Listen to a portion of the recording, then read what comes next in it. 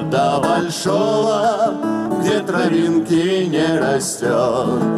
Жил поэт-волшебник слова, вдохновенный рифмоплет. Рифмовал он, что попало, просто выбился из сил. И в деревню на поправку, где коровы щиплют травку, отдыхать отправлен был. Тридцать три коровы, свежая строка. Тридцать три коровы, стих родился новый, как стакан парного молока. Тридцать три коровы, тридцать три коровы, тридцать три коровы, свежая строка. Тридцать три коровы, стих родился новый, как стакан парного молока.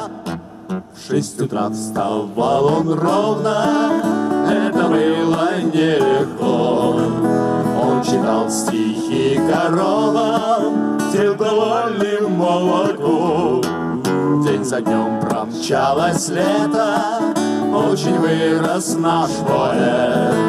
Ведь молочная диета благотворна для поэта, если не всего шесть лет.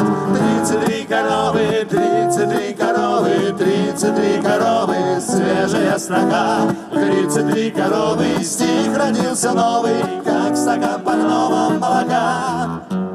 Тридцать три коровы, тридцать три коровы, тридцать три коровы, свежая строка. Тридцать три коровы, стих родился новый, как стакан парного молока.